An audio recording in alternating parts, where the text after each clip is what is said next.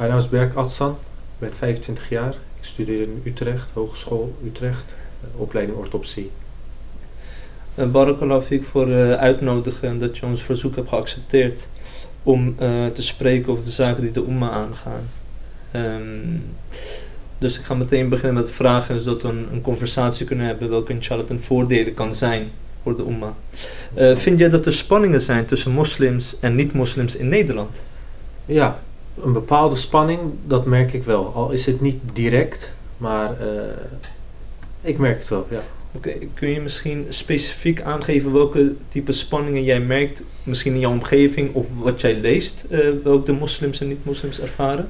Ja, wat ik uh, zelf ook meemaak, maar ook vanuit de omgeving, is als je bijvoorbeeld een bepaalde islamitisch uiterlijk hebt, een baard of een gebedsmuts, dat mensen je toch anders behandelen en anders tegen je doen dan, dan normaal.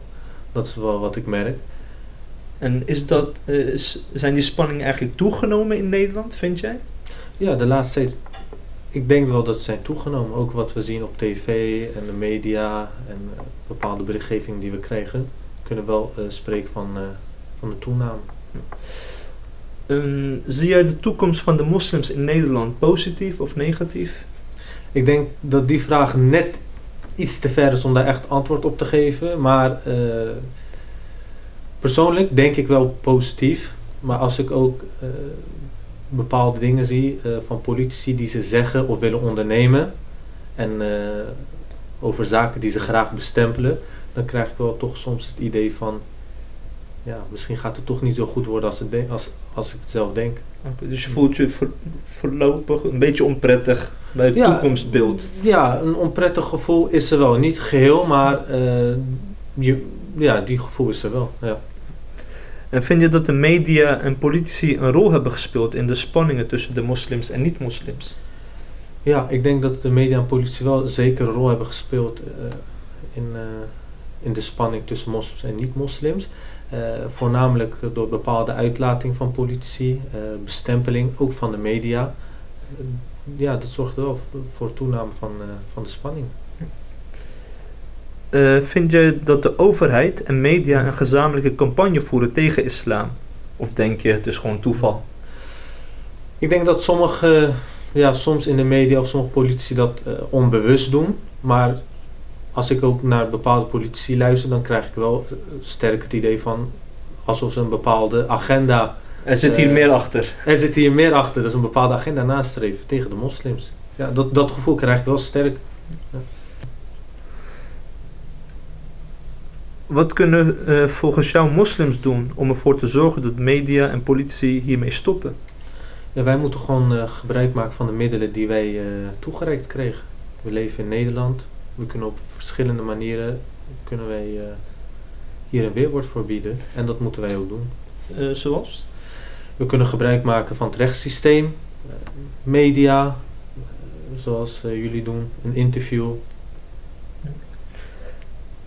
hoe zouden moslims een eenheid kunnen vormen en een tegengeluid ook kunnen bieden? En wat is hiervoor ja. nodig? Ja, Kijk, in Nederland, eigenlijk overal op de wereld, zijn er uh, verschillende islamitische organisaties. En ik persoonlijk denk dat deze organisaties met goede bedoelingen zijn opgezet.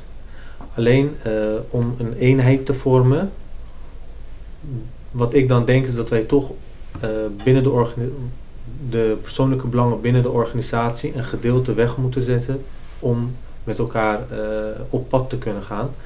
En zoals imam Ghazali dat ook uh, heel mooi zegt, van als de moslims uh, punten hebben waarbij ze overeen kunnen komen, is het niet goed om uh, de meningsverschillen op te zoeken. Dus ik denk dat we eigenlijk bruggen moeten bouwen, tot elkaar moeten komen, de meningsverschillen even aan de kant moeten laten en elkaar gewoon steun moeten bieden. Dus we moeten elkaar opzoeken, met elkaar in gesprek gaan. Zeker weten. En de vitale kwestie ook benadrukken en onze problemen ook benadrukken en daarin een, een passende weerwoord tegengeven en een actie daarin ja. te ondernemen volgens ja, de tien. Ja, zeker weten. Kijk, wij hebben genoeg uh, moslims die op verschillende vlakken zijn afgestudeerd of kennis en ervaring hebben. Dus wij moeten voornamelijk uh, comité's, voer, comité, oprichten. Oh, ja, comité's oprichten. En dit soort problemen met elkaar bespreken, ervaringen delen, kennis delen. En de benodigde middelen gebruiken om dit naar buiten te kunnen brengen. Op de manier die het best bij ons past. En dat is met goed gedrag en beleefdheid. Eh, de media en politici voeren een bepaald beleid eh, waardoor de niet-moslims eigenlijk denken dat wij de confrontatie telkens opzoeken, dat wij barbaren zijn.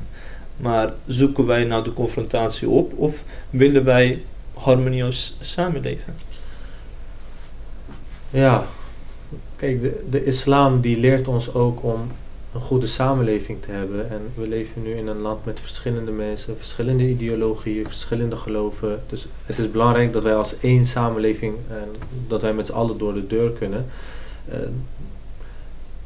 vanuit, vanuit, uh, perspect, ja, vanuit de media merk ik toch wel, dat, zoals u zegt, van ze willen ons neerzetten als barbaren. Dat woord zou ik niet gebruiken. Maar ze proberen ons wel in een hoek te drukken of in een bepaald daglicht te zetten waarbij wij eigenlijk niet uh, toe behoren. Nou, ik vind uh, het heel duidelijk, heel helder. Ik uh, bedank je voor jouw interview. En inshallah houden wij gewoon contact en mogen Allah subhanahu jou belonen inshallah. Inshallah. Assalamu alaikum wa rahmatullahi wa barakatuh. Wa alaikum salam wa rahmatullahi wa barakatuh.